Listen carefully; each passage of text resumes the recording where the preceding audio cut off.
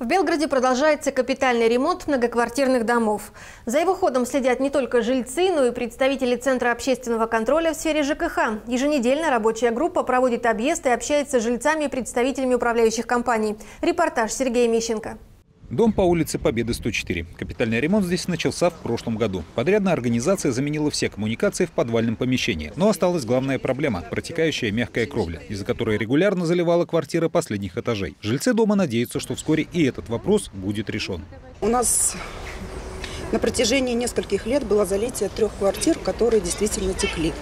Но управляющая компания своими силами, как могла, конечно, выезжали, делали латки. Как положено, все не устраняли. Но устранить в рамках управляющей компании это было нереально. Поэтому от капитального ремонта, думаю, все теперь у нас будет совсем по-другому. Крыша переустроена, и все будет хорошо, надеюсь. Следующий дом, который будет в ближайшее время капитально отремонтирован, находится по улице Николая Чумичева, 11. Здесь жители хотели бы видеть фасад в светлых тонах, чтобы он соответствовал концепции белого города. Необходимый ремонт коммуникаций в подвальных помещениях, кровли и вентиляции на крыше, которая с годами пришла в негодность. Подрядчик, посчитав стоимость работ, оповестил жильцов, что сумма больше, нежели это было указано в поданной для капремонта анкете. Скорректировать ее предложено на месте. Подрядная организация совместно с собственниками приводит данные анкеты в порядок. И, э, как уже известно по информации подрядной организации, на следующей неделе анкета будет предоставлена непосредственно собственникам в фонд а, уже с откорректированными объемами. А к собственникам выйдут с предложениями о выполнении тех или иных видов работ, об исключении. А, а когда это будет происходить? Следующая неделя. Еще один адрес капитального ремонта – Белгородский проспект, 90. Здесь уже заменили систему канализационных труб, окна в подъездах и отремонтировали крышу. Рабочие занимаются утеплением фасада. Процесс идет под пристальным контролем жильцов.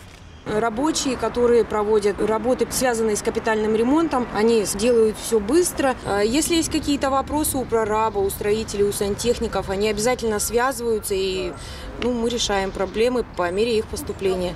Я думаю, что о результатах говорить рано, но если дело так пойдет, то, я думаю, жители останутся довольны. По словам руководителя регионального центра общественного контроля в сфере ЖКХ Любови Киреевой, главная задача такого взаимодействия – помочь жителям города разобраться во всех тонкостях капремонта, чтобы горожане остались довольны выполненными работами. Мы же работаем с советами домов, с председателями, с уполномоченными, потому они очень грамотные сегодня. Если что-то не знают, мы будем встречаться, объяснять все вместе э, делать так, чтобы житель, наш гражданин, был доволен капитальным ремонтом следующие 50 лет, где он будет жить.